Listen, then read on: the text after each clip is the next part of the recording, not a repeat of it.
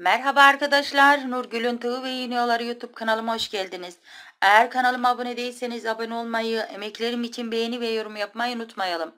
Sağ alt köşedeki kırmızı abone ol butonuna basarak abone olabilir, zil butonunu açarak da çektiğim videolardan haberdar olabilirsiniz. Kanalıma abone olmak ücretsizdir arkadaşlar. Bugünkü modelimiz de şu şekilde Sizlere anlatacağım bu çıtı pıtı zarif kutucuklar içinde fıstık modelimiz arkadaşlar. Model çok hoşuma gitti arkadaşlar. Umarım sizler de beğenir ve yaparsınız. Kutucuklar içinde minik fıstıklar. Şimdi modelimizin yapım kısmına geçelim arkadaşlar. Evet arkadaşlar tığ battığımızın içine sık iğne ile girdik. Bir tane zincir çektik. Yeni başlarken de aynı şekilde tığ battığımızın içine sık iğne ile giriyoruz. Ve buraya orta boy bir örümcek yapıyorum. Örümceğimin büyük, büyüklüğü bu kadar arkadaşlar. İki defa tığımın başını doladım. 1, 2, 3, dördüncü tığ battıma giriyorum. 1, 2, 2, 2 olarak aldım. Bu şekilde buraya bir trabzan yapıyorum. Ve bir zincir çekip 7 tane sık iğne yapıyorum. 1, 2, 3, 4, 5, 6 ve 7. 8. sık iğnemi bu şekilde arkadaşlar yuvada yapıyorum.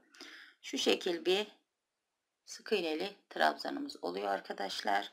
Önünde örümceğimiz. Trabzanımızın üzerinde de 7 tane sık iğne, 7 tane de zincir çekiyorum. 7 zincirimi çektim. Hemen şöyle çeviriyorum. Bir defa doladım. 1 2 3 Ortadaki arkadaşlar bakın şuradan sayalım. 1, 2, 3. Dördüncü sık iğnemin içine 2, 2 alarak bu şekilde bir kutucuk yaptım. 1, 2, 3 zincir. Bir defa doluyorum. İlk yaptığım bu sık iğnemin tepesine bir zincirle döndüm. Sık iğnemin tepesine 2, 2 alarak bir kutucuk yaptım. 7 zincir. 7 zincirimi çektim bu şekilde arkadaşlar. Dönüşlerde 7 zincir. Bir defa yine doladım. Trabzanımın tam tepesine girip 2 2 alarak aldım. Buraya köşeye de bir kutucukla döndük. Yine 3 zincir. Aralarda 3, köşelerde 7 zincir. Bir defa doluyorum. Tam ortasından arkadaşlar yani 7 zincirin 4. zincirinden giriyorum bu şekilde. 2 2 alarak buraya bir trabzan yaptım. İşlem bu kadar arkadaşlar. Yine bir zincir çekiyorum. Şöyle ipimi uzatıp buraya bir örümcek yapıyorum. 3 tane tığ battı. 1 2 3 dördüncü tığ battıya yaptığım bu örümceği arkadaşlar sık iğne ile kapatıp işlevi bu kadar. Yaptığımız iş bu kadar arkadaşlar. Bir zincirde çekip işimizi bitiriyoruz. Şimdi yaptığımız bu kutucukların içine bu fıstıkları yapmaya geldi sıra. Evet arkadaşlar. Şimdi buradaki sağdaki ilk kutucuğumuzun içine sık iğne ile ipimi bu şekilde buraya sabitliyorum. Şöyle köşeye sabitledim. Bir defa tığımın başını doluyorum. Buraya 8 tane arkadaşlar ilmek toplayacağız. Bu 1 bu 2, 3, 4. Bakın bu şekilde topluyorum. 5, 6, 7 ve 8. 8 defa arkadaşlar tığımın başını dolayarak yuvaya girip ilmekleri topladım. Şimdi arkadaşlar burası önemli. Şuradaki ipi tutuyorum. Buradaki ipi tutup bu tığımı bütün ilmeklerin içinden geçirdim. Sonra arkadaşlar burası dar olacak. Bakın burasını fazla bol yapmayın. Lakin şurası bol olacak. Şu aldığım ilmeğimi bakın biraz bol kapattım. Şöyle bir zincir çekiyorum başına. O bol bıraktığım yerin içinden girip sık iğne yapıyorum. Bu birinci sık iğnem. 2 3 4. Bakın taş gibi fıstığımız oldu arkadaşlar. 5. sık iğnem. altıncı ve yedinci. Bu şekilde sık iğneleri yaptık arkadaşlar. Bir defa tığımın başını doluyorum. Hiç arkadaşlar bakın zincir falan çekmiyorum. Dibine de batmıyorum. Direkt bir defa tığımın başını doladım. Hemen bu köşedeki 7 zincirli kutucuğumun içine girip ilmek aldım. Bu 1, 2, 3, 4. Bakın tığıma bu şekilde ilmekleri topluyorum. 5, 6, 7 ve 8. Evet arkadaşlar bu şekilde 8 şimdi tam oldu arkadaşlar. Yine ipimi tutuyorum buradan.